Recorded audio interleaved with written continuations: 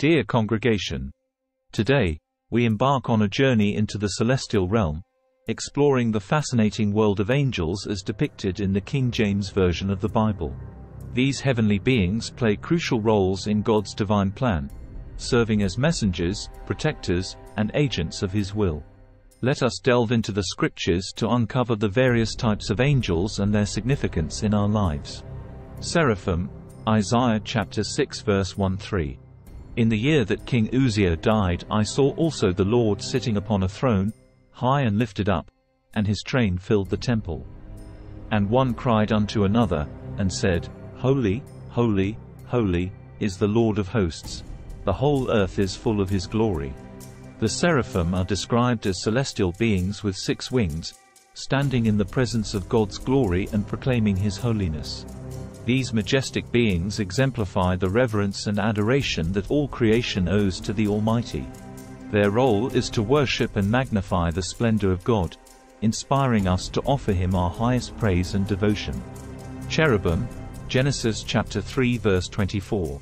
So he drove out the man, and he placed at the east of the Garden of Eden cherubims, and a flaming sword which turned every way, to keep the way of the tree of life. Cherubim are often depicted as guardians or protectors, stationed at the entrance of the Garden of Eden after the expulsion of Adam and Eve. With their flaming swords, they symbolize the divine authority and sovereignty of God, preserving the sanctity of His presence. As we encounter trials and temptations, May we find comfort in the assurance that God's heavenly hosts stand ready to defend and safeguard his children. Archangels, Jude chapter 1 verse 9. Yet Michael the archangel, when contending with the devil he disputed about the body of Moses, durst not bring against him a railing accusation, but said, The Lord rebuke thee.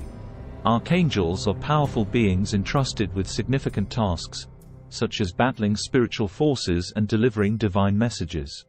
Michael, the archangel mentioned in Jude, is portrayed as a warrior who contends with the devil while exercising humility and reverence toward God. Through their exemplary obedience and unwavering faith, archangels inspire us to stand firm in the face of spiritual warfare, knowing that victory belongs to the Lord.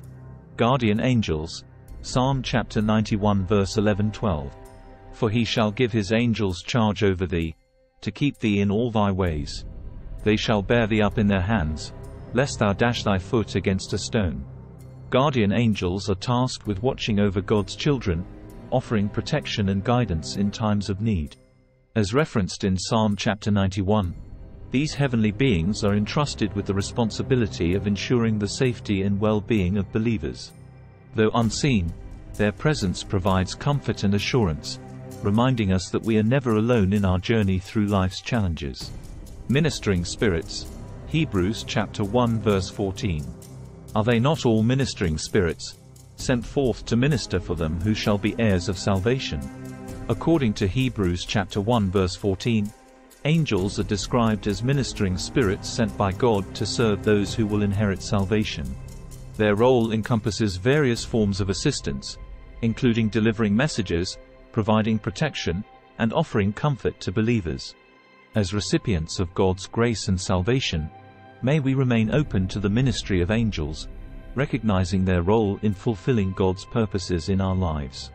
Heavenly Hosts Luke chapter 2 verse 13-14 And suddenly there was with the angel a multitude of the heavenly host praising God, and saying, Glory to God in the highest, and on earth peace, goodwill toward men.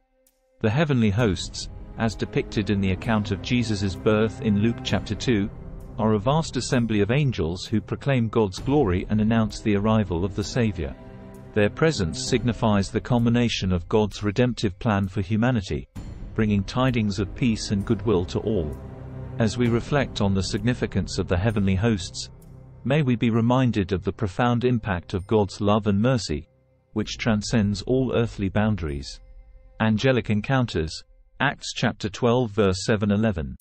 And, behold, the angel of the Lord came upon him, and a light shined in the prison. And he smote Peter on the side, and raised him up, saying, Arise up quickly. And his chains fell off from his hands. And when Peter was come to himself, he said, Now I know of a surety, that the Lord hath sent his angel, and hath delivered me out of the hand of Herod, and from all the expectation of the people of the Jews. Throughout the Bible, we encounter numerous accounts of angelic interventions, demonstrating God's power and providence in the lives of his people. In Acts 12, we witness how an angel delivers Peter from prison, illustrating the supernatural assistance available to believers in times of adversity. As we navigate life's trials, may we remain open to the possibility of angelic encounters, trusting in God's faithfulness to deliver us from every perilous situation. Angelic guidance. Exodus chapter 23 verse 20. Behold, I send an angel before thee, to keep thee in the way, and to bring thee into the place which I have prepared. In Exodus chapter 23, God promises to send an angel to guide his people on their journey, ensuring their safe passage to the promised land. This assurance of divine guidance reminds us that angels play a pivotal role in directing our paths and leading us toward God's appointed destination. As we yield to their guidance and follow their prompting, may we experience the fulfillment of God's purposes in our lives and the realization of His abundant blessings. Angelic Protection Psalm chapter 34 verse 7.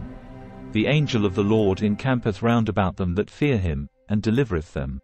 The psalmist declares the comforting truth that the angel of the Lord surrounds and protects those who reverence him. This divine assurance serves as a source of strength and security for believers, knowing that God's heavenly messengers stand ready to defend and deliver them from all harm. As we place our trust in the protective care of the angelic host, May we find solace in the knowledge that we are shielded by the Almighty's unfailing love and power. Heavenly Worship Revelation chapter 5 verse 11-12 And I beheld, and I heard the voice of many angels round about the throne and the beasts and the elders, and the number of them was ten thousand times ten thousand, and thousands of thousands. Saying with a loud voice, Worthy is the Lamb that was slain to receive power, and riches, and wisdom, and strength, and honor, and glory, and blessing. In the book of Revelation, John witnesses a glorious scene of worship in heaven, where multitudes of angels join in exalting the Lamb of God.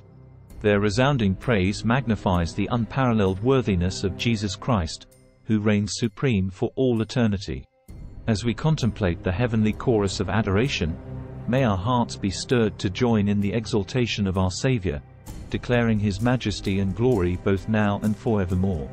As we conclude our exploration of angels in the King James Version of the Bible, let us marvel at the intricate tapestry of God's divine creation.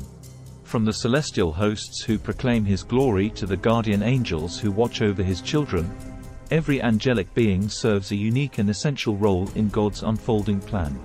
May we embrace the assurance of their presence and the comfort of their ministry, trusting in God's providence and protection at all times. Amen.